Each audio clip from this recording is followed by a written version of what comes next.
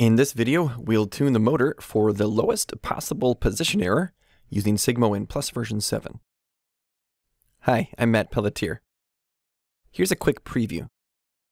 To get the lowest possible position error, use Mode 1 auto tuning, then set feed forward PN109 to 100%. The error during acceleration and deceleration can be further decreased using custom tuning again with mode 1. Please follow along with me to implement this on the z-axis of the demo. In the previous videos, we tuned the x and y axis down to a settling time of 3 milliseconds within a 0.01 degree position complete width. The z-axis, however, we had decided we would tune for the lowest possible position error, simulating those applications where it's most important to follow the commanded profile more than it is to stop quickly. That kind of application is often what we'd call an electronic cam application, such as a rotary knife, where it's the profile that you need to follow. Tuning for lowest position error is really just a slight deviation from the normal auto tuning procedure. You need to select mode 1 instead of the default mode 2. They call that standard. After that's complete, you'd set feed forward to 100. And if you need even lower position error, you can use custom tuning. These are the three things that we've already done. So let's begin using auto tuning on mode number 1, standard.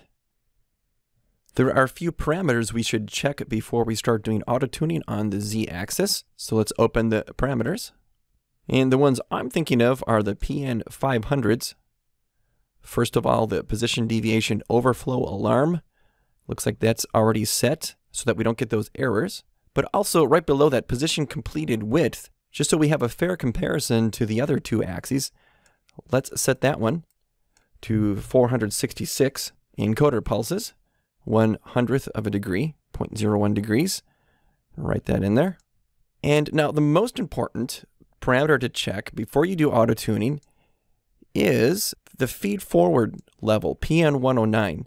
This is especially important if you had possibly set the feed forward along with tuning less. You don't want that feed forward helping the auto tuning result. Now I think we're ready to go into auto tuning. Down here to tuning. And we're already out of tuningless mode from the previous video. And it looks like a moment of inertia ratio we had previously set in that video to 2600, which is very close. We could use that, but we should measure that directly. Now, why is this grayed out? It must be that there is another window or function conflicting with this. So let me close everything else out. Save that. And also I check I don't have the servo on through the remote I.O. So let's come in here again, go to tuning. Okay, now we can execute moment of inertia ratio. I'll start with the default. Just run through this real quick. There, I do like to look at it. And I like to listen to it. I think this might be the last one. 2659. We got 2584. And 2584 is our final result. That was pretty close to the 2600 we had in there. Let's finish this out. Update this. Finish that. Okay. Software reset. And we're ready to do the auto tuning. Okay, here's where we need to choose the mode. Instead of two for positioning, choose number one standard. The mechanism should still be chosen the most appropriately possible. Rigid model works on these demos. Start with the default. Notice here as a reminder, when you choose mode number one, that means that model following control is off and also vibration suppression will not be available in mode number one. The mechanism selection will make sure that your bandwidths remain proportional in the position, speed, and torque loop. And as I pointed out, be sure that you do auto tuning with the feed forward set to zero. Let's go ahead and execute this auto tuning. Yes. Confirm. And now we need to use program jog again. Program jog. Okay. And this is still set up from a previous video. We need to be sure that it's at uh, zero for infinite number of times and run that. Okay.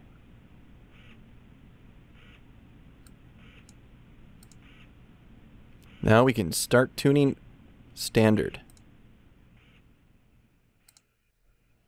And tuning is complete.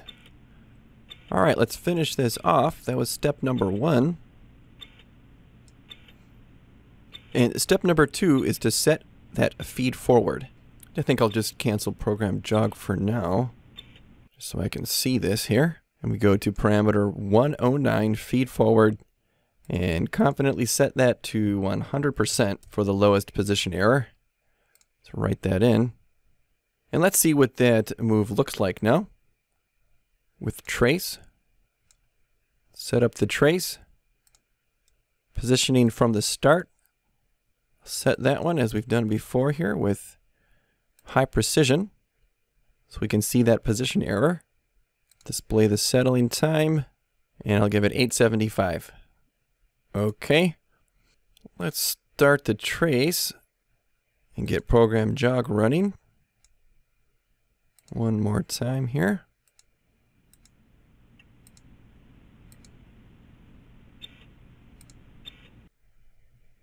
And look at this result. The settling time is not too bad. It's not too great either, 47 milliseconds. But what we were interested in was the position error. Now these other two axes, I don't think we ever saw such low position error during the move. So this is tuning for low position error. In fact, the position error is so low that the coin signal, the position complete signal, changed state during the move. We could zoom in on this.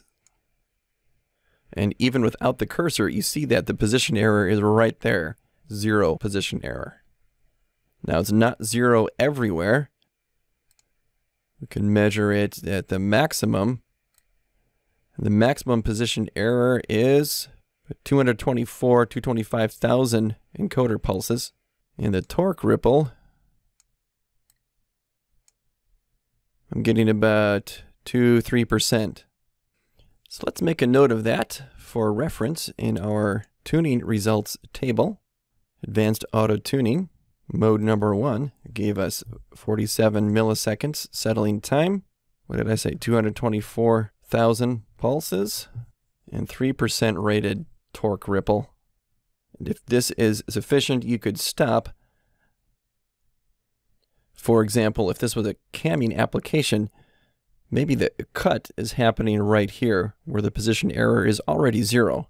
So there's no reason in that case to tune any further. But if you really need to follow during the acceleration and deceleration part of the move, you might want to decrease this position error even further. And for that, we would use custom tuning. So let's open up custom tuning, advanced adjustment, custom tuning. And before you click past this custom tuning mode selection, be careful. The custom tuning menu will attempt to uh, set you back to tuning mode number two. So be sure you choose tuning mode number one, just like you had in auto tuning, so that you don't change the mode and undo that result. So choose tuning mode number one here, very important. And uh, let's go next after this. Confirm yes, you're going to change, you're going to stay in mode number one. Confirm the inertia, and you can start tuning you notice you are in tuning mode number one, rigid model, and there's only one level here. It's the level for all of the position, speed, and torque loops. Okay, I think we need to run the motor and start to increase this level. Okay.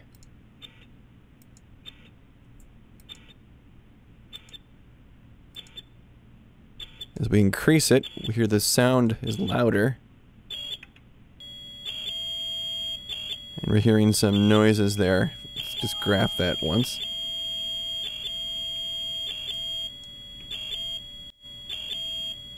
It's quite a lot of vibration, you can see it here. Let's see what we can do with notch filter. let's just look at the notch filter with the edit parameter screen. The notch filters are under PN400. So there we go, PN408. We'll start by enabling that notch filter. That alone helps.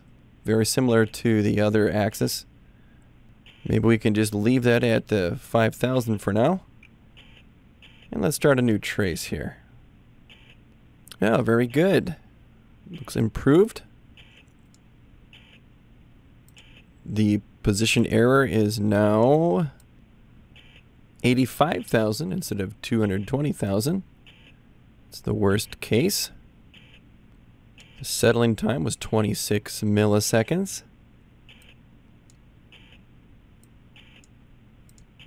And how's the torque ripple looking?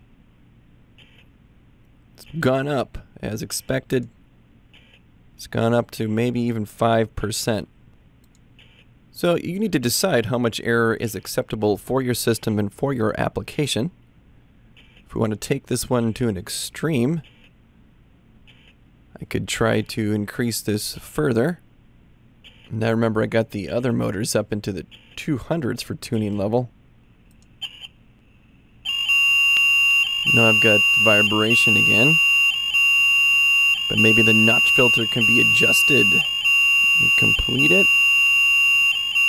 Look at that online parameter. Let's try to dial down that frequency for the notch filter. See if that helps. There, 4600. 4700 seem to help it. Really do have to go by sound. Several frequencies that work. Yeah, I liked the 4200 on the other servo axes.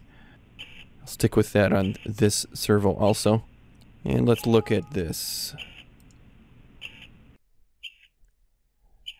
18 millisecond settling time. Let's get a measurement on that error. Error down to 52,000 reference units out of 16 million. That's pretty low. And the torque ripple, pretty high. Looks like 8.7. I think I'll turn off the servo here. So just a few comments. This is a very aggressive tuning for lowest position error. And if the application didn't need such an aggressive tuning, I would probably recommend you turn that level down. And also keep in mind if you have a cutting application or grinding or anything where uh, surface finish is important, then a torque ripple that's this high is definitely not acceptable. Even though you are trying to follow a path, smoothness of motion is of prime importance in those types of applications. We simply have not decided to tune the servo motors for that type of application. So let's save this final graph. This was Z-axis custom tuning for low position error. I'll comment this is mode number one, no model following or vibration suppression. Okay. Final tuning Z-axis, we had 18 milliseconds, about 53,000 pulses of error, and 9% rated torque ripple. So after going through all this, let me summarize by leaving you with this table of the auto tuning modes. As you've seen here, mode number one did pretty well for settling time, but mode number two definitely did better. However, mode number one is the best for low position error, Mode number two was okay by some standards, but there was still a lot of position error, although we could get the error between two different axes down to zero as long as the model following control gain was set equal. So what types of applications? Electronic camming, probably go with mode one. Point-to-point -point applications, I'd probably go with mode two or mode three. If you want to use model following control, then definitely mode two or mode three. And if you need vibration suppression, you're going to have to make it work with modes 2 or 3. This demo doesn't have any resonance to filter out. Um, Anti-resonance is not affected by the mode. Neither is the notch filter. We did use the notch filter on all three of these axes. And we were able to use that feed forward parameter 109 in mode number 1. Uh, that parameter has absolutely no effect in mode number 2 because we're already using a torque and speed feed forward as part of model following control. And one final difference is it says your speed control mode. Uh, that's when the controller is sending a speed command to the speed loop. You can still use mode 1 auto tuning for that control mode, and that's not available with mode number 2. You do need to have the position loop active in order to use model following control and modes number 2 and 3 of auto tuning. Position mode is the standard method of commanding motion from the MPiec controller with the PLC open function blocks. We do have an advanced block called Y direct control, where you could send a speed or torque command directly over Mechatrolink 3 into the amplifier. And in that case, the tuning result could be affected. So I hope this video series on tuning has given you some good insight and some practical hands-on application to harness these advanced features of Sigma 7 tuning. After this, you might want to check out the Tuning Lab videos, where I walk through some demonstrations of how to tune machines that are a little bit more complicated than these simple wheels. Thank you for watching this video. For more information on Sigma 7, please go to yaskawa.com. Products Sigma 7 Servo Products.